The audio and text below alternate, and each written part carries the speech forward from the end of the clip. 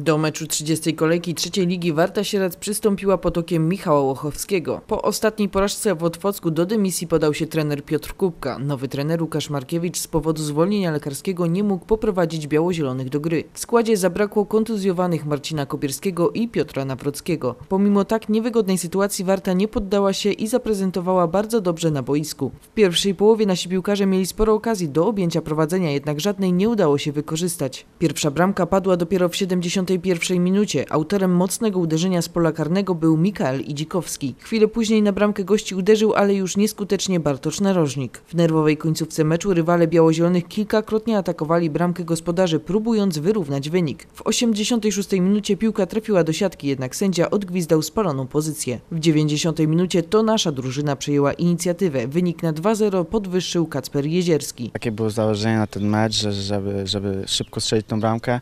Nie udało się nam to w pierwszej połowie, ale w drugiej cały czas dążyliśmy do tego, żeby tą bramkę jednak strzelić. No i udało się, jakiś spokój to wprowadziło w naszych szeregach.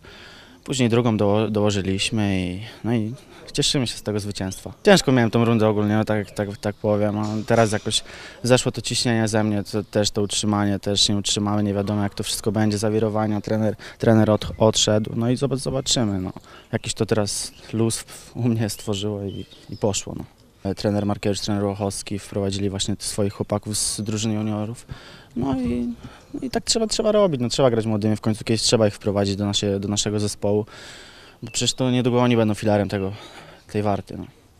Yy, tak, zespół wygrał. To nieważne, kto prowadził zespół, to po ostatnich zawirowaniach w klubie prezes poprosił, żebym dzisiaj zespół poprowadził. Yy, bardzo dobrze, że się udało wygrać 2-0. Yy, morale drużyny troszkę poszły do góry, bo, bo po tym meczu w Otwocku było naprawdę źle. Yy, wierzę, że zakończymy tą rundę yy, bardzo pozytywnie. Zostały nam cztery kolejki. Będziemy w każdym meczu walczyć o zwycięstwo. Więc y, dziękuję drużynie za zaangażowanie, za wolę walki, za chęć podniesienia się po ostatnim meczu. Udało się i z tego się cieszymy. Y, O to nam chodziło w dzisiejszym meczu. Przede wszystkim y, nawet pokazać tej garstce kibiców, że, że ten mecz w Otwocku to był wypadek przy pracy.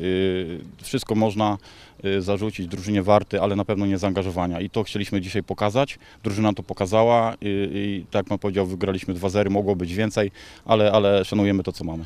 Y, No liczymy bardzo na Marcina Kobierskiego, ale czy wróci do, do, do składu, y, ciężko powiedzieć. Y, No ta kontuzja jego jest dosyć poważna.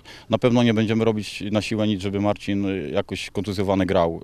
Zobaczymy, dysponujemy tym, co mamy. Troszkę młodzieży dzisiaj się pokazało, więc, więc myślę, że, że jeżeli Marcin nie dojdzie, to, to, to taką, takim składem pojedziemy na Legię. Szczególnie mi jest bardzo miło, bo to zawodnik z mojego, z mojego zespołu, zespołu juniorów.